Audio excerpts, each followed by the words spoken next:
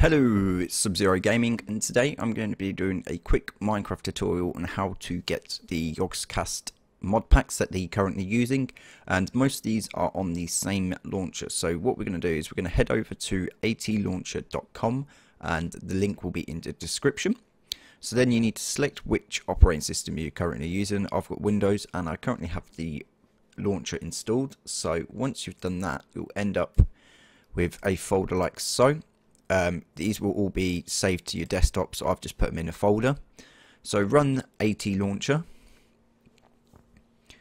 And what you're going to do is you're going to end up on a screen like so with news packs instances accounts tools and settings. You need to log in with your account and then head to packs.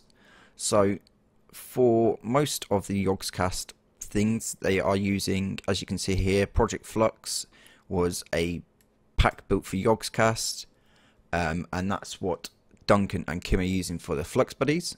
Uh, Sjin also uses this pack for his main series on his channel, and if we scroll down a bit, there is the old version of the pack. Um, as you can see here, it's not being updated, so use Resonant Rise 3. And here is Journey to the Core, which Sjin, Duncan, and Lewis are doing. So to install the actual packs, all you need to do is click create new instance, click install, um, and here you get some optional things.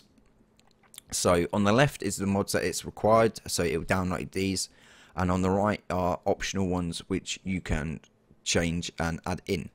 So as you can see here, we've got Project Flux, which was built for the Flux Buddies, Time Cops, and Build the World. Um, so let's install that one. So install, and that will install all the mods that it needs to actually run.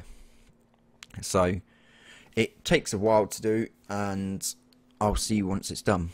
So the mod's now installed. So if we click on our instances pack we can see that we've got the Resonant Rise installed we've got Revolution, Sky Factory and we've got Journey to the Core so if you want to just play them click play and it will run the game.